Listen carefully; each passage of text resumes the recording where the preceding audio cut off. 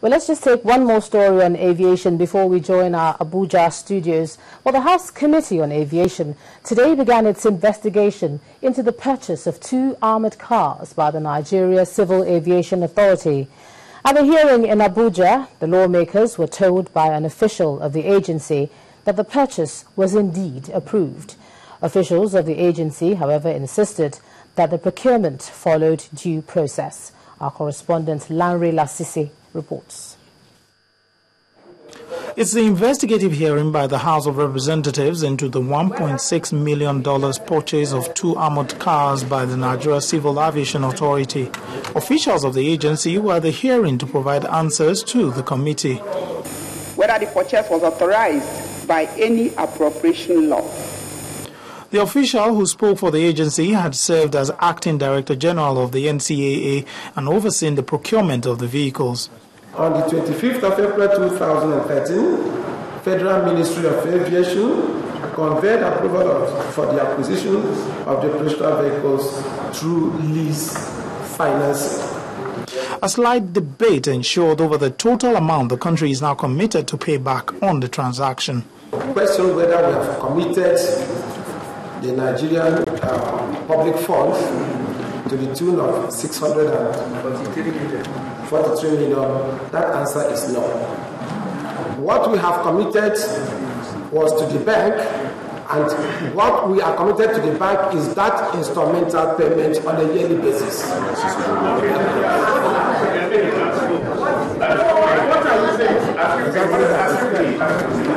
The Bureau of Public Procurement also made a presentation.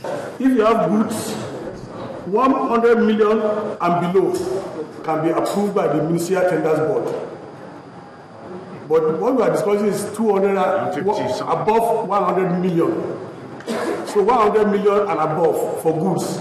Such procurement is supposed to be approved by the Ministerial Federal Executive Council. The committee is expected to submit its report next week. Lanre Lasisi, Channels Television News. Well, we take you live now to our Abuja studios where Gloria Ume-Ezeoke is standing by. Hi, Gloria. Good to see you again, Nijama. Many thanks for joining us here live from the nation's capital.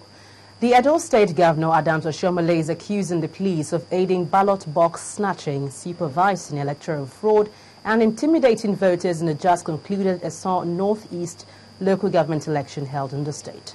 At the swearing-in of the council chairman, Mr. Sam Obo at the government house in Benin City, the governor said he is embarrassed that the police have become electoral officials working in favor of the PDP.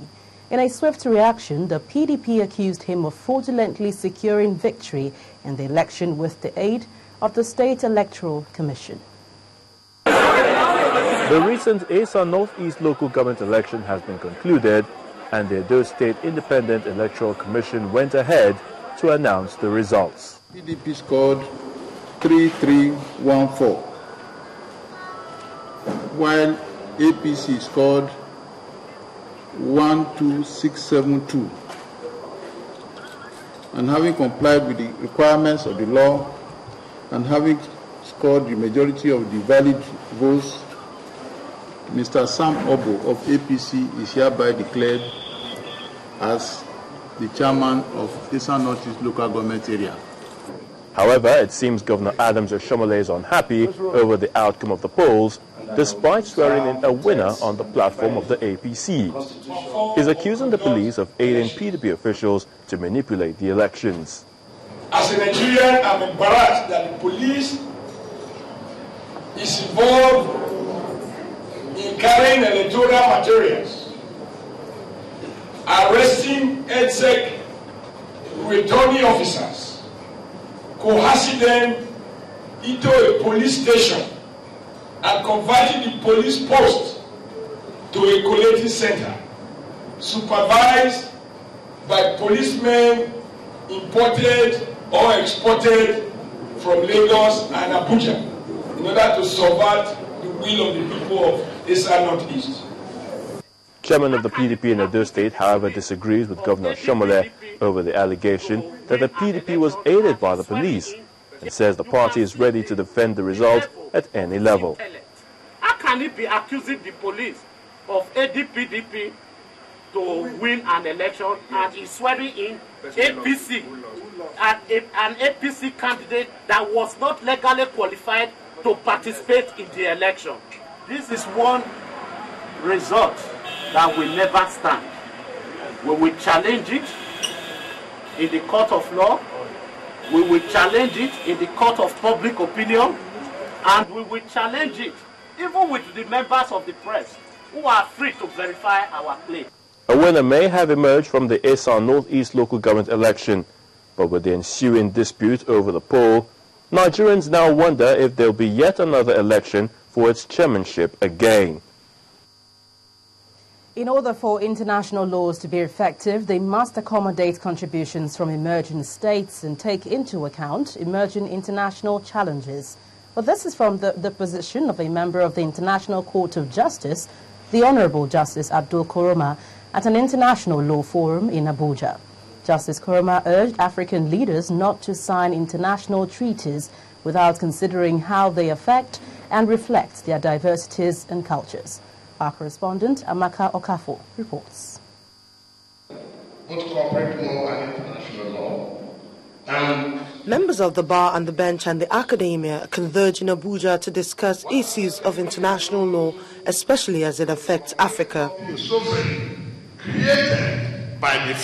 Speakers at the forum believe international laws must consider the voices of African states and emerging global challenges. The international law needs to respond quickly and pragmatically to evolutions in the international sphere. This is particularly necessary if we are to successfully confront contemporary challenges to global peace such as armed conflicts, terrorism, insurgence, and extremism, when we talk about universality of international law and international human rights, we want it to be one that encompasses all aspects of the world, all spheres of human endeavor, all jurisdictions of the world. Delivering the memorial lecture, a member of the International Court of Justice, Justice Abdul Koroma, advised African leaders to always consider the implications of all international treaties before signing them. If African states had not rushed to the signing, to the ratification of the Rome Statute for the establishment of the International Criminal Court, maybe the position would be different today. The major countries in the world, the United States, India, Russia, they have not ratified the Rome Statute. And perhaps for very good reason. They wanted to see how the Rome Statute would play out. I'm not saying that it was a wrong policy to undertake to discharge. I'm only saying that when we undertake such um, policies, it should be done from a position of seriousness. We should assess the implications before committing ourselves to such international instruments. Above all, these jurists want international laws to be effective. Therefore, they are advocating equality amongst countries of the world when it comes to international and universal laws. Amaka Okafor, Channels Television News. And that'll be all from Abuja. Over now to you, Ijoma. Uh, thanks a lot, Gloria, all the way from the nation's capital in Abuja. Well, Nigerian women have been challenged to continue to positively contribute to the socio-economic development of the country. At the 2013 National Women Conference of the Committee of Wives of Lagos State officials, which had the governor of Gombe State, Ibrahim Dankwambo, as guest of honor, the Lagos State Governor, Babatunde Fashola, says more women should go beyond rhetoric and take bold steps in all spheres of life. You can take more responsibility for a world in which you are not only half of the population, but you brought the other half. There is always talk about the men won't allow us, the men don't let us. Give us 30% affirmation, give us this, give us that. But really and truly, instead of asking, maybe you should change the rhetoric from who will let us to who can stop us. Now, for their untiring effort aimed at sustaining and preserving the environment, some environmentalists have been honored in Lagos. This was the highlight of this year's edition of the annual conference of the Society for Environmental Toxicology and Pollution Mitigation held at the University of Lagos. Well, for the president of the society, the aim of the conference is to provide a framework on research and findings of environment issues. Environmentalists, academics, students and fellows of the Society for Environmental Toxicology and Pollution Mitigation, SETPOM, converged on the conference center of the University of Lagos for the annual conference of the Society and Fellows Award conferment. This year's conference focuses on environmental sustainability through research, regulation, and consulting. For the special guest, who is also the head of Geography Department of the University of Lagos, sustaining and preserving the environment is a challenge in Nigeria.